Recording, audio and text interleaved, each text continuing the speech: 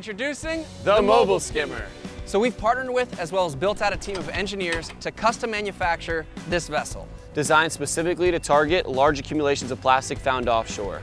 It takes our teams a long time to scoop all that plastic up with their nets, and this vessel is designed to expedite that entire process.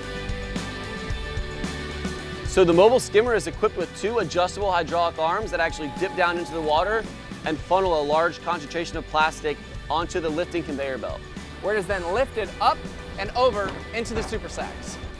Once each super sack fills up, we use our marine hydraulic crane to remove the super sack and replace it with an empty one so we can keep cleaning.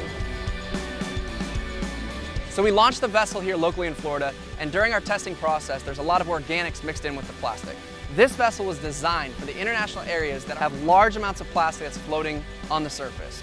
This is 4Ocean's first custom vessel. There's gonna be modifications, there's gonna be improvements, and there's gonna be changes. We're excited to continue the testing, make sure that we've got everything right, then we're deploying this vessel internationally to clean up massive amounts of plastic. We're stoked.